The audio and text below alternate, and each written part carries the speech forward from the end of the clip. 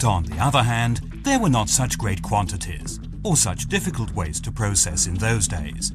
It became more of a problem when people started to gather in greater numbers in villages and towns, and when the production of goods started on a larger scale. Communities expanded. The need to dispose of waste increased.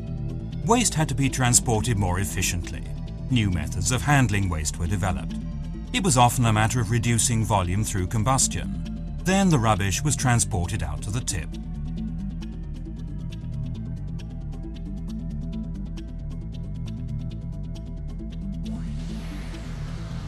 The world's resources are being consumed at an increasingly rapid rate. Some resources are regenerated in a short time, while others require a very long time for their recreation. Most of us know this is not sustainable in the long run, but what are we prepared to do about it?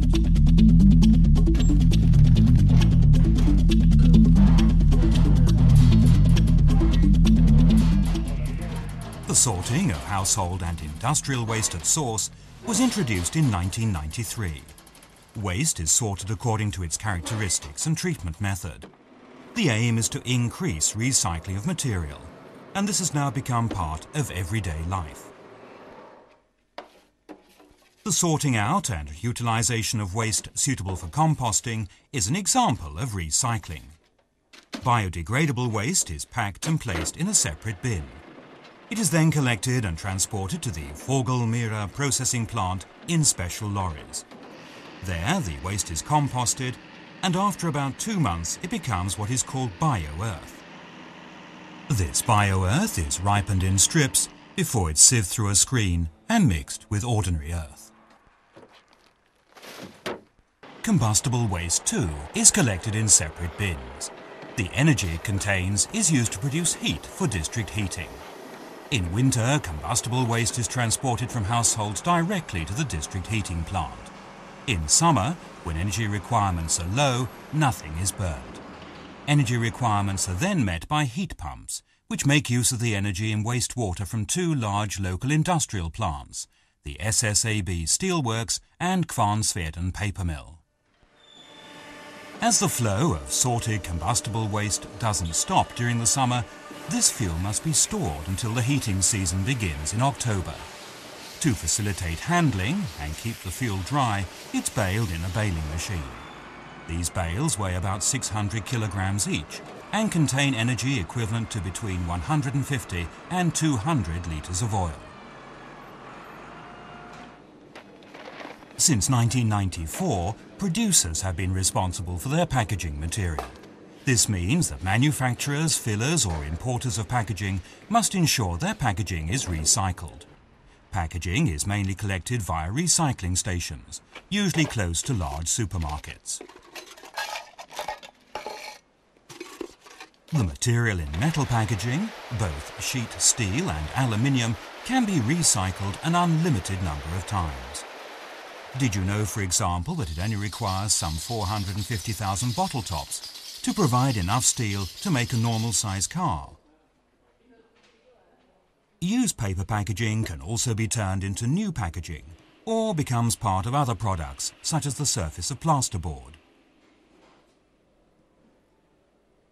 Recycled corrugated cardboard is turned into new corrugated board. Newspaper and wrapping paper are returned to the pulp and paper industry and could be converted into new newsprint or toilet paper. Rigid plastic packaging, usually made of polythene, is also collected via recycling stations.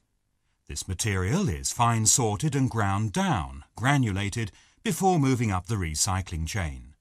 Recycled plastic can be found in products such as fleece sweaters, toys, cable tape, waste bins and plastic bags. Glass can be recycled an unlimited number of times. Clear glass is turned into new food containers. There is less demand for coloured glass as packaging material, but it can be used in the manufacture of insulation material, for example. This is why it's important to sort glass into coloured and clear.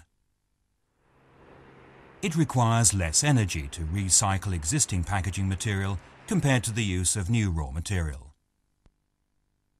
At recycling stations, there are also containers for what is called landfill waste. Landfill waste is waste which cannot be recycled or reused in any sensible way. This waste ends up on the refuse tip, but if there is careful sorting, very little needs to end up in these containers. They're mainly intended for small items such as china, small parts from bicycles, household utensils of metal, cooking pots, saucepans and cutlery for example, drinking glasses, glass mirrors and the like. Furniture, car engines and other bulky items must not be left at the recycling stations. The kinds of waste we've mentioned so far don't cause the worst environmental problems. It is of course essential that waste materials are correctly sorted if they're to be recycled. Now we're going to look at environmentally dangerous waste. Poisonous substances, chemicals, oils, heavy metals and the like will, if they end up on the refuse tip, sooner or later leak out and affect their surroundings. Chemicals exhibit a nasty characteristic. Two or more chemicals, the properties of which are known, can combine to form new compounds with totally unknown properties. There are several examples of this. There are boxes for small household batteries at all our recycling stations.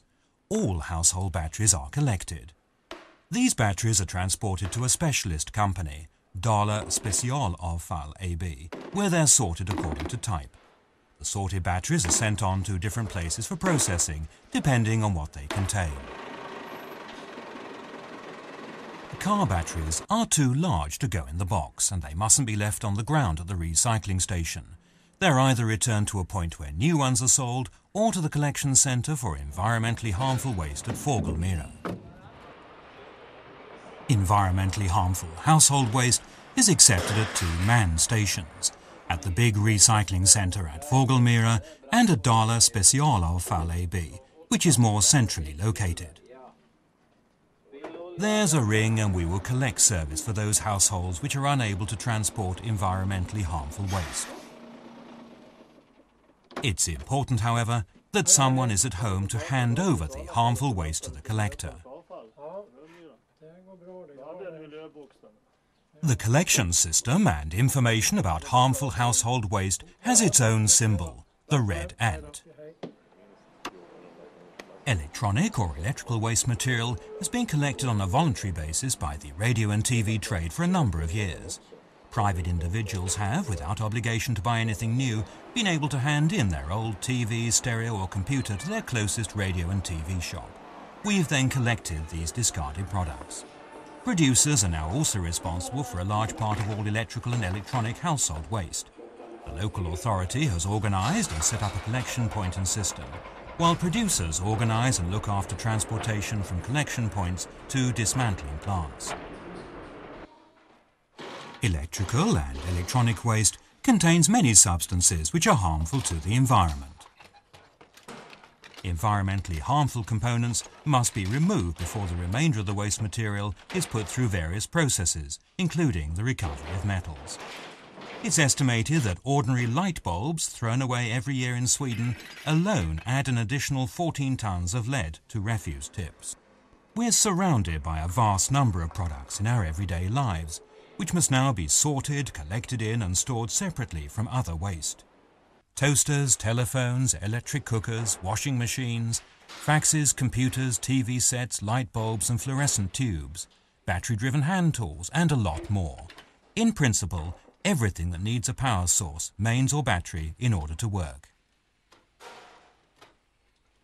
In Borlänge, waste collection is centred on the Fågelmyra recycling station. Fågelmyra is the hub in our waste handling organisation. Here it's possible for residents in the municipality to sort and dispose of their waste. All kinds of waste can be handed in at the centre, from packaging material to environmentally harmful and electronic waste. There will probably always be some things that end up on a refuse tip, but why should we put more there than we have to? You and I decide the problems our descendants will have to face.